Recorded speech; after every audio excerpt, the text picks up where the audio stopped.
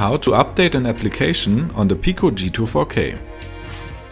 Go to your App Store and search for the app you want to update. If possible, click on Update in the top right corner.